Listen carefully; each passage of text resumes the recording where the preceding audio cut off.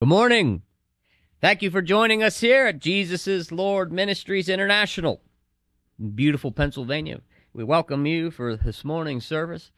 I believe and pray that you're having a good week because how can it not be good with the Word of God on your side? God is for you, not against you. All we have to do is call upon Him. The Bible says, Whosoever calls upon the name of the Lord shall be delivered. And in another uh, area of the word, it says they'll also be saved. So wonderful things happen when we call upon his name. Jesus, Jesus, Jesus. We just want to call upon you. I'm so thankful to be here, and I'm glad that you could join me. And we have a interesting, great service for you this morning. Let's look at something that I never talked about before. That'll be fun for me. Um, and I just hope you're having a great day. I pray that from this moment forward, things begin to get brighter for you. Things begin to look up. Healing begins to come to your body. Blessing begins to flow into your family. Lost ones are coming back for Jesus Christ. We just believe that by faith. Anything's possible for God. The Word of God is so valuable to us that we can get inspiration from it. When things look hard or impossible, even in the Word, we see that God is still on the throne. Nothing is above him. He still reigns and rules over all things. The devil might be the prince of the air, but we still serve a God that's way above him. He gets the final say. I'm thankful for that. I just encourage you to surrender all of your grief and anxiety and doubt and worry. Just hand that right over to Jesus. Let him take care of it, for he has surely died for your sin. Let's just pray and uh, we'll get going here. Father, I thank you in the name of Jesus. We just ask for your blessing. Let me be a vessel that could be profitable for you today, Lord. Let your word flow. Let it do what you said it would do. It produces results, God. Thankful for your word, God. What a wonderful word. God, you've given us everything we need. We're grateful for it. Allow us to be, our lives to be changed and transformed and shaped and molded to become more like you. And we just thank you, Jesus. bless everyone that's tuning in today, God, and present here, Lord. We thank you. In your son's name, amen. Amen. Hallelujah. Let's go right into Judges chapter 13. Oh, we could start at verse 1, I guess. Again, the children of Israel did evil in the sight of the Lord, and the Lord delivered them into the hand of the Philistines for forty years. Now there was a certain man from Zorah of the family of the Danites, whose name was Manoah, and his wife was barren, she could have no children. The angel of the Lord appeared to her and said, Indeed, now you are barren and have borne no children, but you shall conceive and bear a son. Now, therefore, please be careful not to drink wine or any strong drink, and not eat anything that's unclean. For behold, you shall conceive and bear a son, and no razor shall come upon his head. For the child shall be a Nazarite to God from the womb. And he shall begin to deliver Israel out of the hand of the Philistines. Amen. This is the promise. I like I just realized that the, the angel of the Lord comes to these women that are barren, and they bring forth mighty men of God and women of God. I believe we saw that also with uh, um, John the Baptist, his mom, Elizabeth. She was barren too and God brought her a child. He brought John the Baptist. You know, it's interesting. I believe these women were praying that God would bring forth a child from their womb. And even in the natural, it's not possible, but God could care less about the natural. He created it. He he has rule over it, and He's able to bring a child forth through their loins. But you see the careful instructions here. We have that he, you know, not to have alcohol. I mean, a lot of people try to argue and say drinking alcohol is great, but anytime God was bringing a mighty man of God onto the earth, he said that no alcohol should touch his lips. So apparently God does see that as a form of defilement in a measure. We got I mean it's something to consider. Um let's just look here now. Uh it's interesting here the angel gives her instructions. For behold, you shall bear him a son, you shall have a son. No razor will come upon his head, for the child shall be a Nazarite to God from the womb. That that Nazarite was was his identity. He was born into a certain and then it was his identity to not have a razor come upon his head. It was a special called group that were just dedicated to the Lord. Something key here to think about as we go forth here, because we're going to talk a little bit about identity. And I believe that this is his identity. But let's look at Judges 13 24.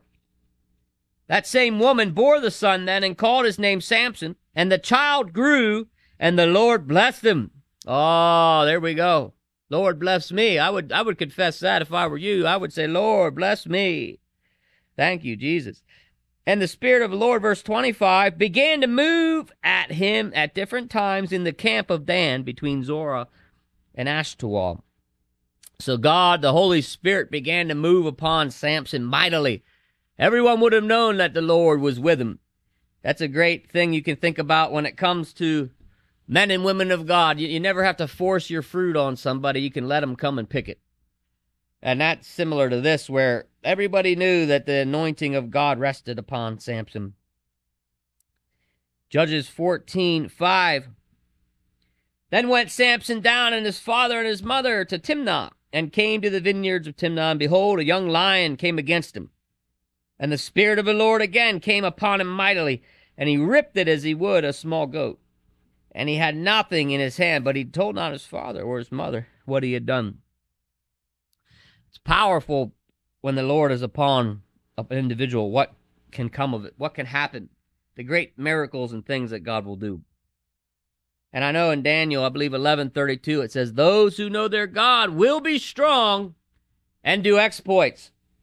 Amen. That's all of us. Anybody who calls upon his name, anybody who knows the Lord will be strong and they will do exploits. So you see the identity that God has given Samson here as he continues along. God is with him, God is for him. Things are going well. Let's look at Judges 15, verse 14.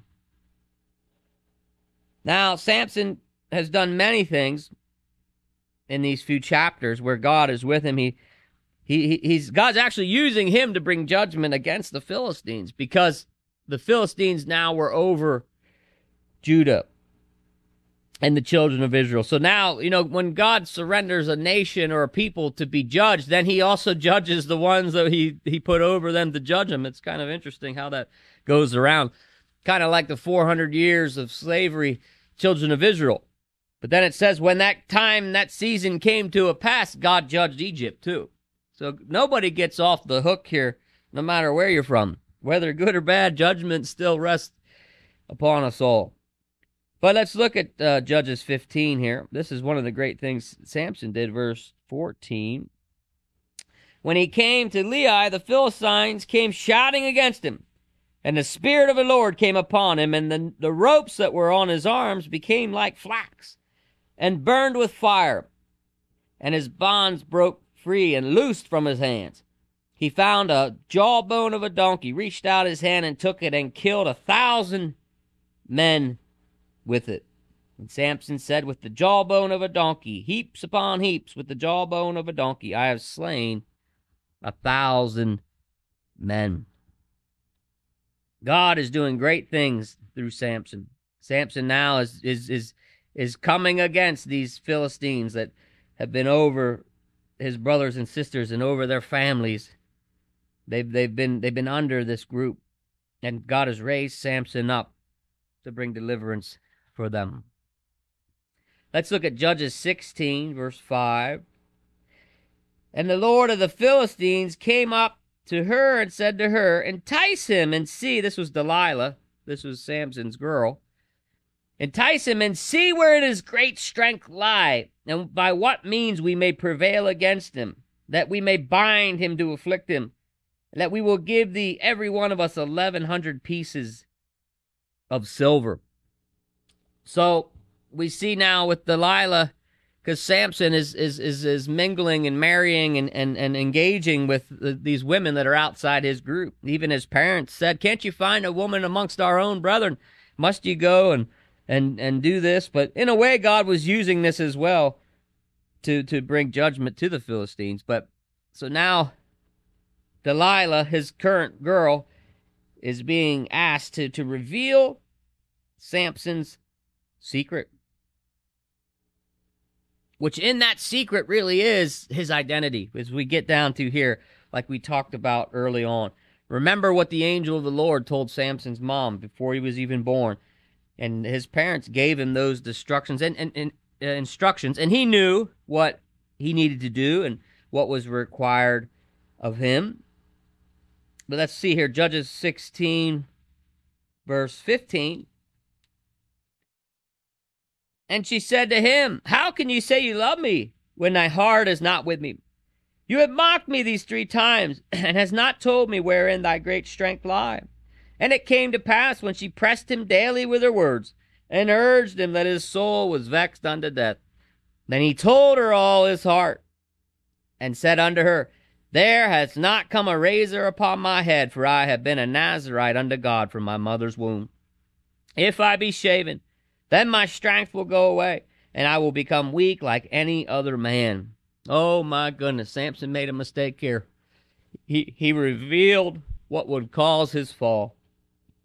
The razor coming upon his head. Remember, the angel of the Lord said that can never happen because why? God had him given him an identity. And this is important for you and I today that our identity is in Christ, that we stand with Christ not compromising our identity. Identity of our nation is under attack right now. They want to re people want to rebrand the identity of of of what God has created to be good. Created man and woman. He put them in marriage and he said these things are good. But do you see the enemy comes against what God has created? He comes against marriage, he comes against the man, he comes against the family. You could see it's a planned strategy to take down the family, to take down what? Our identity. How important our identity is. And we could see in Samson's life here, when he began to compromise his identity, it doesn't go well for him. Let's look at chapter 16, verse 19. Now, this is after he told her what could cause him to fall if he surrendered his identity. And she made him sleep upon his, her knees. And she called for a man, and they caused him, she caused the men to shave off seven locks of his head. She began to afflict him, and his strength went from him. When Samson compromised his identity in, in God, the blessing of God, all that God was doing, left him. And in the Bible, if you keep reading that, it says he didn't even know his powers were lost. He didn't even realize God had departed from him until they came. They ended up plucking out his eyes and they take Samson hostage. His powers are lost. Why? He he compromised his identity. He fell into pressure. He he he gave up what God had given him, knowing that that was never to be done, but but he, he under pressure, under constant pressure. And it's kind of like the world today. The world is constantly pressuring people to what? Give up their their identity in Christ.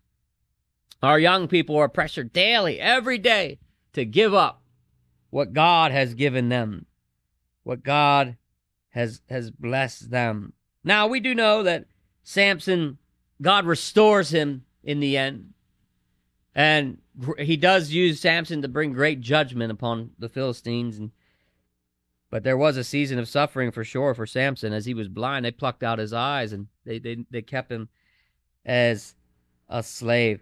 But identity in, in, in the Christian, in the believer today is, is, is our everything. You know, many people in the world, they think their identity is their job or, you know, where they live or the different things that they do, but that's really the world's identity. Our identity is in Jesus Christ. It's kind of like the obituary when you read that. Uh, if you read obituaries of people, it lists all these things. They love to do this, they love to do that. They enjoyed this, they enjoyed that. But really, it was all a lot of temporal things, a lot of earthly things that, in one aspect, they're okay, but it's not really our identity. Look at First Timothy chapter 1, how Paul even addresses himself. Paul, an apostle of Jesus Christ, by the commandment of God our Savior and Lord Jesus Christ, which is our hope. You see, Paul was bold in his identity. He knew who he was in Jesus. And he starts out his letter to Timothy that way. Paul, an apostle of Jesus Christ. We need to wake up in the morning like that and look in the mirror and say, whatever your name is, a child of the Most High God. Remember, we're sons and daughters. Remember, Jesus said, "You're no, we're no longer the servant. because the the, the master doesn't uh, doesn't give the secrets to the servant, but only the sons and daughters, as he does to us. He gives us the takes us into the innermost court as children of the Most High God. That boldness that Paul had, we need in our walk to be strong in our identity in Christ. It's the most important thing we have. All other things are secondary. What kind of things will last when we go into the next world? A lot of the temporal stuff just burns up. It won't even carry on into eternity. But our identity in Christ will. Romans 1:16 says, "I am not ashamed of the gospel of Christ." This is Paul again speaking. For it is the power of God unto salvation to everyone that believeth. How many of us are ashamed of the gospel of Jesus Christ? I mean, it makes you wonder. With as many people that acknowledge Christianity as their faith, you wouldn't know it by driving around America. You wouldn't really see it because many of us are scared to stand up. Many of us are, are embarrassed to make that our identity. But, but for me, and I believe for you, that that's not something that we're going to compromise on. We're not ashamed. It's Jesus who died, was buried, and raised that we could be buried and raised. In Galatians, Paul, again talking, you see he has to, he gives a kind of a, a sharp rebuke to the Galatian church. What was the problem? They were quickly giving up their identity, kind of like Samson. Look what it says here Galatians chapter 1, verse 6. Now, this is the beginning of the letter. I mean, he's two, two, two or three thoughts into it, and this is what he says. Oh, he, he gives his introduction, and then the first thing he says to him, I marvel that you are so soon turning away from him who have called you into the grace of Christ to a different gospel. And you see that that many were, were giving up their identity in Christ that they already had had. And Paul had to tell them, I marvel, how could you just so quickly trade that in? You know, that reminds me of even America sometimes. I think like uh, we've traded in our birthright for, for for a little bit of glory, for a little for a, a, a bowl of soup. It just reminds me sometimes, and I believe God's gonna do have His way in our nation, but but many times it seems like that. You know, for the for the short term wealth and riches, we've we've handed over all that everyone's paid, you know, laid down their life for. All those that have come before us. Many young people, I don't think they really have any. Uh, you know admiration for our nation at all. They, they they don't have like that like it maybe it was years ago where the the flag of America meant something to, to people. You know, they would they would fly it high and and honor it and and and and believe that this is a great nation created under God. I don't know if we have that today as much. I believe God's raising up a remnant, but just generally speaking, the pride of our nation is kind of dissolved, unfortunately. But what is that? It's identity. We've given up our identity for what? A bowl of soup. For a short term pleasure. For a little bit of riches.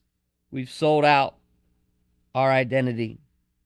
Now look at Hebrews, what talks about Moses. It says in Hebrews 11 24, Moses, when he was come to years, refused to be called the sons of Pharaoh's daughter, choosing rather to suffer affliction and persecution with the people of God than to just enjoy the pleasure of sin for a season.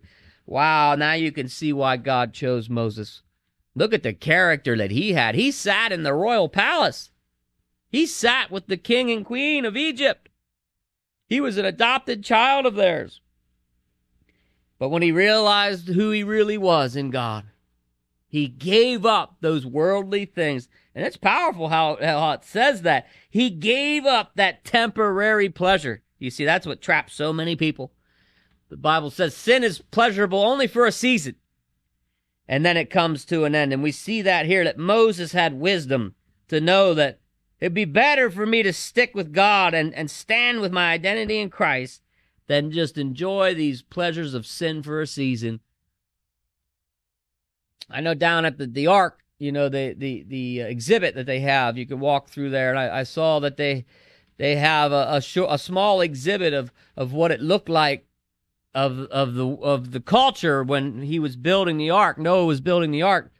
And they have just a little scene of just people dancing and drunk and and who knows it's probably way worse than that what was going on. But you get the picture that you could see that men and women have traded their eternal salvation for for a little bit of pleasure for a little bit of sin for a little bit of pride. It, it has now cost them their eternity. They handed over what god would have gladly given them like he has for me and, and you and all who call upon his name salvation redemption reconciliation god has given us these things but it's our decision whether we take it or not. And for me, I, I, would rather have Christ than just a short few years of pleasure and sin.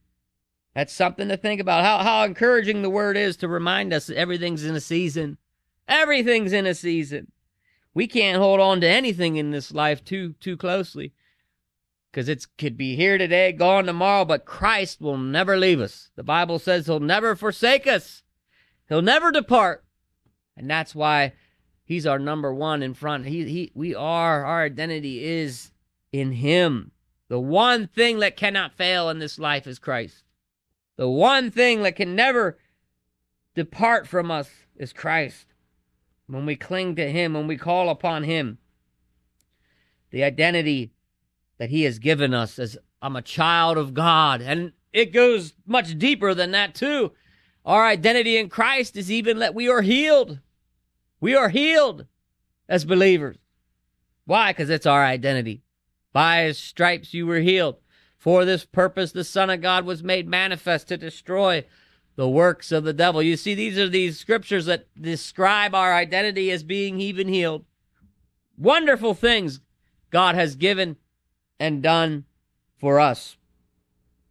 We need to be thankful for what God has done. He's offered so much to whosoever I can just even think that when Jesus in the last days, it says he rose up and stood and cried out and said, Whoever, whoever is hungry and thirsty, come and drink from the wells of living water. He said there's, there's that type of statement many times, different ways.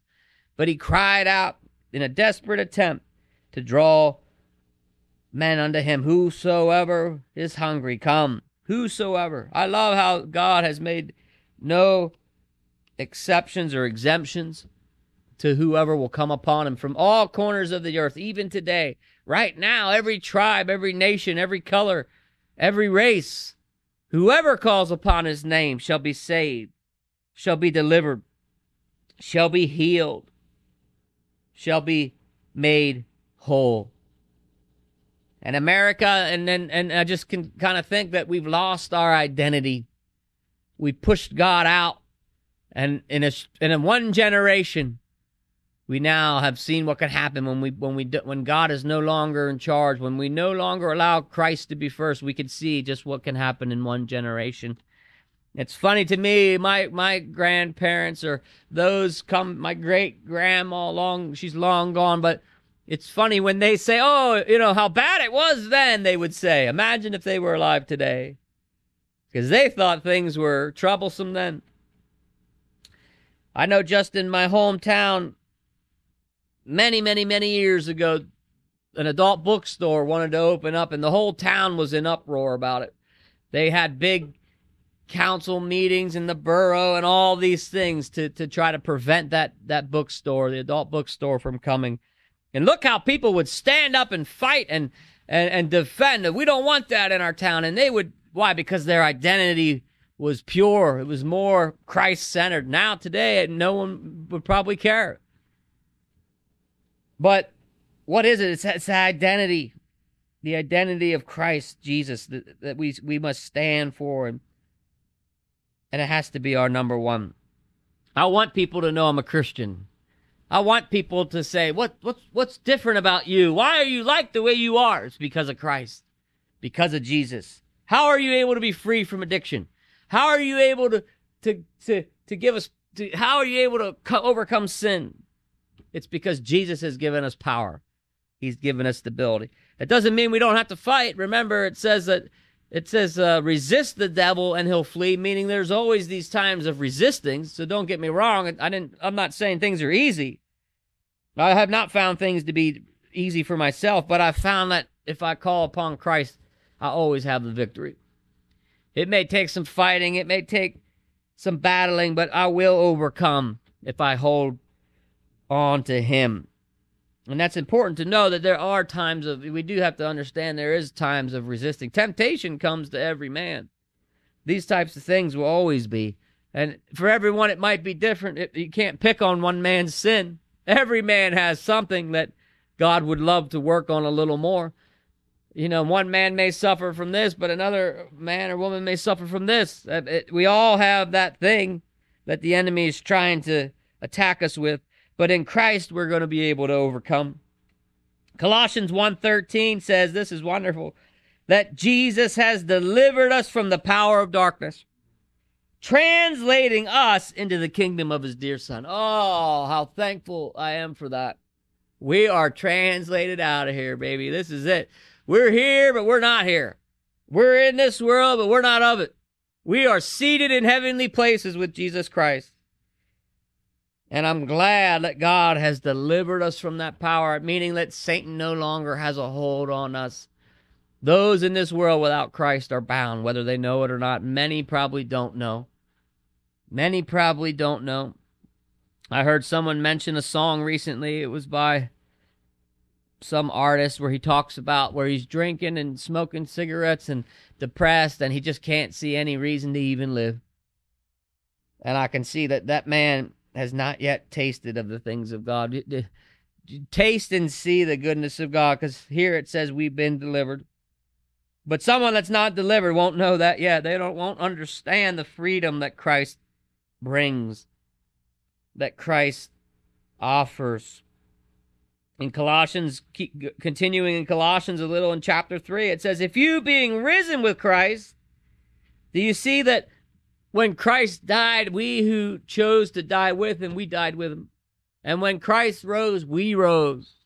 And when Christ was baptized and filled with the Holy Ghost, we now partake in that same baptism that Jesus had. What an amazing thing that Christ has given us everything that he had and, and is today. He, he gives to us who, who, who ask him.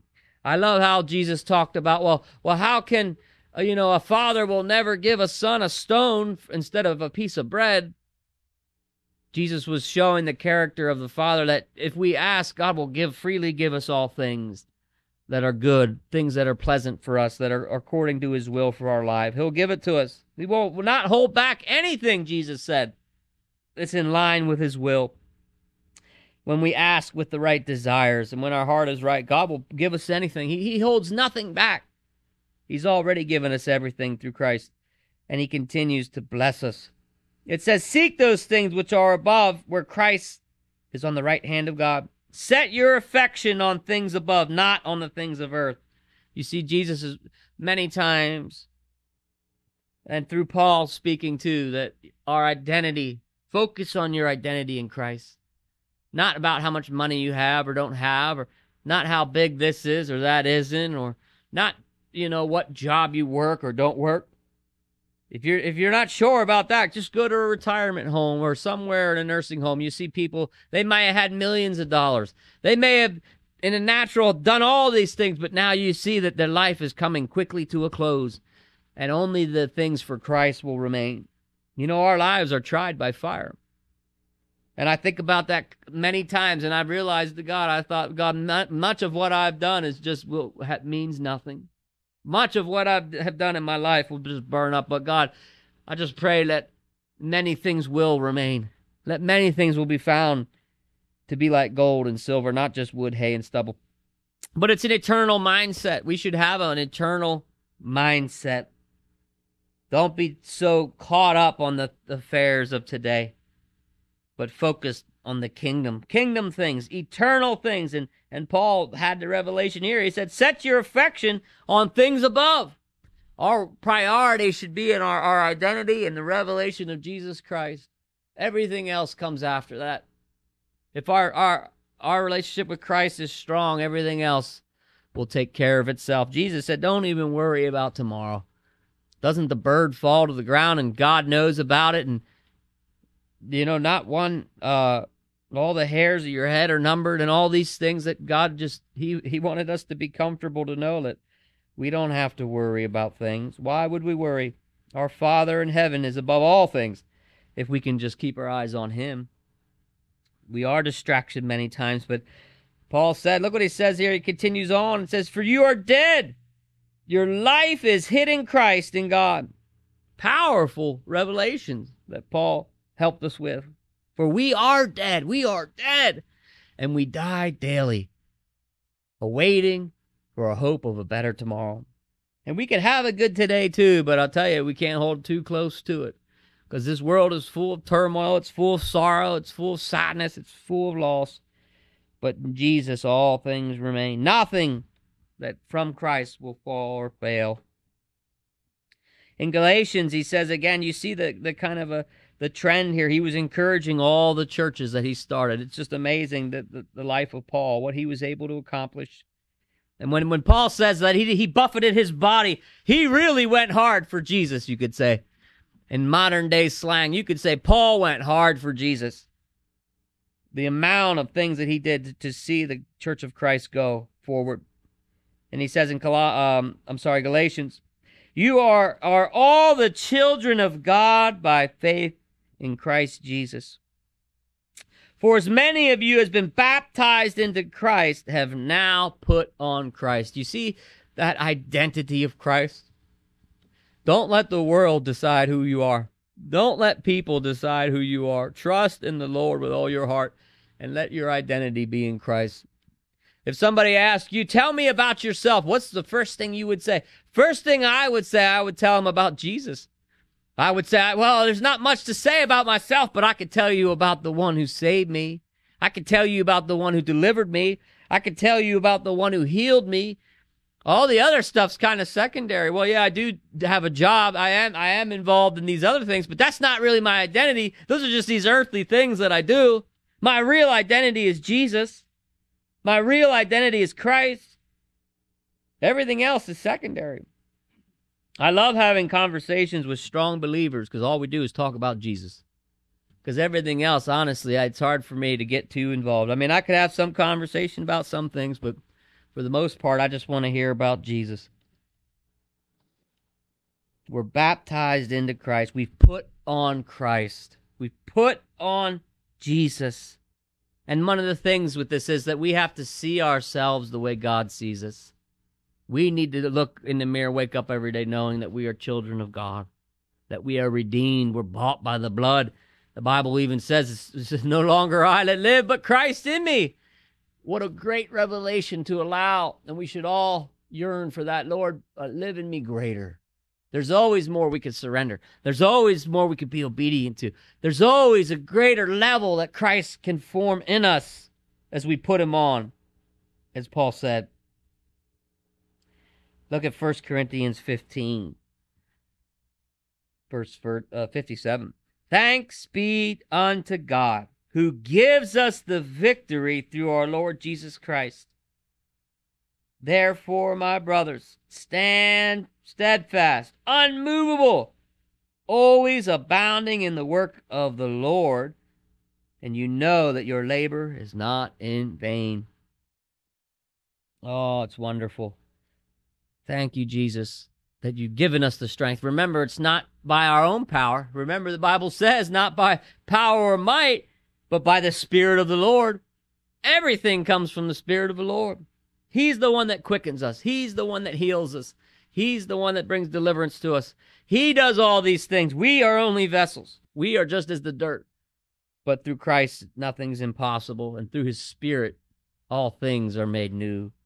Oh, that people, more people would understand and, and step into to the wonderful love of Christ, the, the delivering power of Jesus, the, the greatness of our God.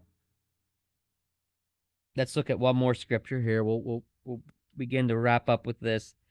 In Romans 6, verse 6, it says this Paul says again, knowing this, now this is important, that our old man is crucified with Christ our old man. Remember, we are not who we were before. I know I'm not.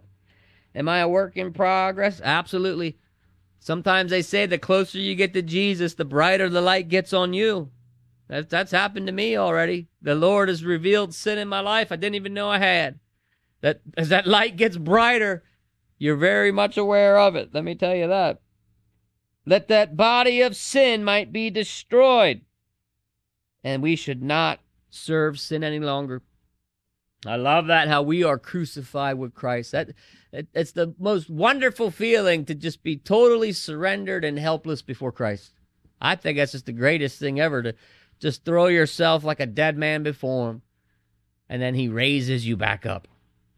Greater than you ever were. The the Christ in me is greater than anything I could have ever been on my own. That's the beauty of Christ living in us. The Holy Spirit living in us. It's better than anything I could have ever done on my own. Me with Jesus is better than any version of me without him that I could have ever even tried to create. Or the world. The world could not have created it. Remember, everything's temporary outside Jesus. You could have a little money for a season. You could have fame or, or this or that or whatever it is, but it's all temporary. You could see how celebrities and people like that, how they become bankrupt as time comes to an end. Because the thing about the devil is he will elevate people, but then he discards them. The devil uses people at high places and gives them anything they want, but it always costs them. And when he's done with them, he discards them. But not our God. We go from glory to glory to glory to glory to glory. God never discards us. He loves us as his own child. he says, I prepare a place for you. If it were not so, I would not have told you. That's what Jesus said. We have confidence that when we leave this earth, at whatever time it is, God takes us into a new place that He's already prepared for us. How much better than that could it really be? I think that's about as good as it gets. God has prepared a place for us, leaving this old earth, leaving these old bodies that go back into the ground, and He takes us up to a place that He's prepared for us. We are crucified with Christ. It's no longer I that live, but him that lives in me. In verse 7 of Romans, he goes on to say, For he that is dead is freed from sin. Now, if we be dead with Christ, we believe that we will also live in him. You see, it's in Christ that we live and breathe and move. It's in Jesus, but that that relationship comes as we as we open ourselves up for it as we yearn for it, as we surrender to God. You know, the great prayer of John the Baptist, he said, Lord, less of me, but more of you. How many times do we pray that? And, and we should constantly have that mindset Lord, less of me, more of you. Some of the great evangelists and preachers that have gone before us had that lifestyle, the lifestyle of Lord, less of me, more of you. And when we allow the identity of Christ and not be ashamed, like Paul said, I am not ashamed. For him to say that, it tells me that there were people even in his day that were ashamed because of the persecution of the Jews at the time. Remember, when Jesus came, he really turned things upside down. It didn't go over real well. He came and just wrecked everything in a sense, although nothing, you know, nothing really uh, was destroyed, but the new covenant, they weren't ready for it and they they killed him for it. But Paul said these are things that we should not be ashamed from. I once was dead, but now I'm alive. I once was lame, but now I walk. Remember what the what the people said? They said, I once was blind. They questioned that blind man that Jesus healed. And the, the, the thing that the blind man said, he said, whether that man be a sinner or not, I don't know. I just met him. I don't know who he is. But he said, I was blind and now I see. It's a powerful part of scripture. That blind Bartimaeus, I believe, blind from birth. He said, I don't know. He, he said, You guys can do what you want and say what you want about Jesus, but all I know is I was blind and now I see. Isn't that powerful? That conversion of him. As Jesus was just doing his miracles, they didn't not everyone really knew who he was at that time, but that blind man with just all the honesty, I just appreciate that story so much. He just said, Well, I, I don't know, but I can tell you this. I was blind, but now I see. I was lost, but now I'm saved. I was dying, but now I'm resurrected with Christ. And I pray that you walk in that today, that you receive that today, that whatever you're going through, I, I speak against the plan of the enemy over your life even now. That everything he tries fail. Let the wheels come off Pharaoh's chariots like God did when they when he uh, the Egyptians chased the children of Israel across that Red Sea. God took the wheels off Pharaoh's chariots. They didn't have to fight them. God did it. And I pray that God is fighting your battles today. Don't be discouraged by the plan of the wicked, but be encouraged that he who is for you has a plan for your life and he will see it and he's faithful to see it through to the end. And I pray that you be blessed today and go out with your identity in Christ, not denying, but standing for him boldly, that you, like Paul, are also not ashamed of the gospel of Jesus Christ. Amen.